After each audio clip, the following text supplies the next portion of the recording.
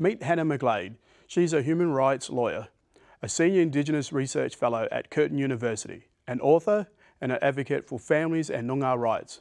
Her work focuses on the rights of Indigenous women in both Australian legal system and the United Nations.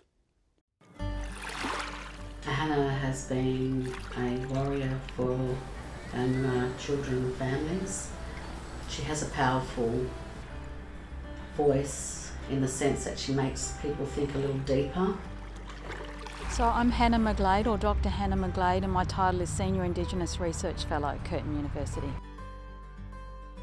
So I came into university through the Curtin Aboriginal Bridging course in the late 1980s and I hadn't actually been able to finish school due to homelessness and family um, disruption at the time. Curtin let me in through the bridging course and I completed half of a one year program. They said your marks are good enough to go into an arts if you want to. So then I did a year of arts in communication. Uh, ended up living on the other side of Australia in Canberra where there was a pathway into law. So that's how I um, did my first degree in law. I did my PhD at Curtin University, so I have continued a long association here. A PhD is quite a, a journey, um, so I, I, don't know how many years I took, but it was some years.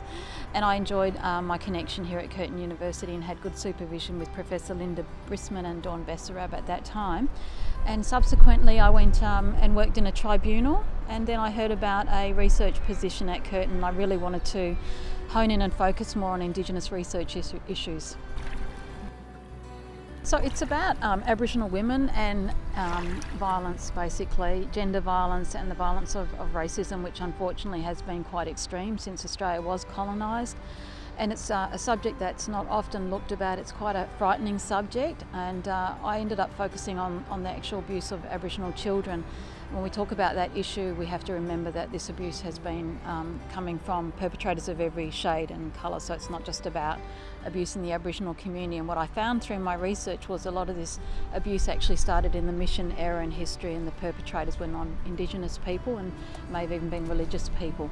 And I wanted to look at what is the justice system response and I found it was actually really not good enough. In fact, it could be quite abusive and re traumatising. I was really lucky, I submitted my manuscript to um, the Stanner Award program uh, run by the Australian Institute of Aboriginal and Torres Strait Islander Studies, and I received uh, the first um, Stanner Award that was dedicated to Aboriginal people, maybe in 2012 or something like that, which allowed the um, thesis to be published as a book. So after graduating, um, I wanted to, of course, get legal qualification.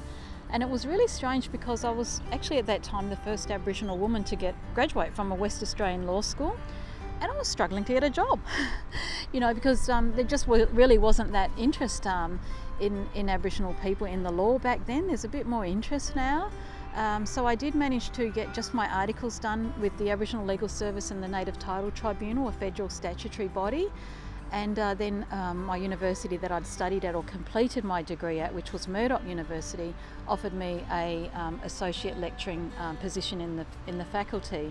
So um, that that was good in some ways because I then became really interested in the area of law, race discrimination law, and I supported uh, community members to also take some cases in that area of law. So there's been a a historic um, legal win in the case of Jody Gore who I assisted, an Aboriginal lady who was sentenced to murder, a 12 year prison sentence, in circumstances that were clearly about violence against women, domestic violence, and self defence. Um, I have a niece from Kununurra. I was asking questions on behalf of a media contact actually about if I knew any women who were in prison because of violence against them. And while I know that most women prisoners have a history of violence, I wasn't so sure about how many women are actually in jail because of they've been like fought back.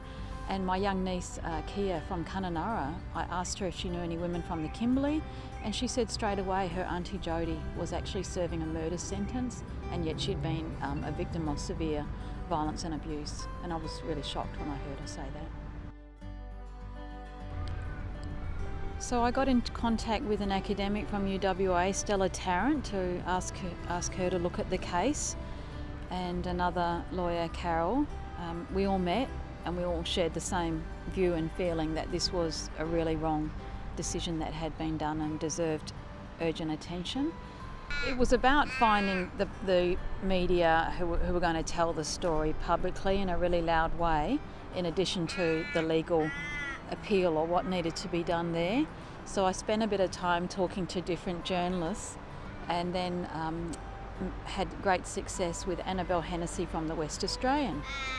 And uh, the, the story was unfolding, so I was playing an investigatory role to assist um, with the story being told publicly, uh, finding out um, information and uh, assisting in, in, the background, I guess. Um, once the story came out, we, we, were incredibly happy. It was not just a one short news story, it turned into a four week investigatory series. I've never seen the West Australian do anything like this in regards to Aboriginal women and justice or regards to Aboriginal women, full stop.